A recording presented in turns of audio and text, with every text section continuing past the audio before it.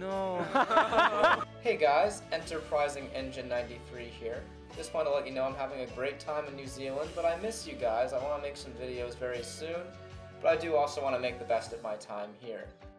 Just to keep you guys in the loop, I'll be coming home at the end of June, and I'll probably start filming early July once I get unjet lagged and all that stuff.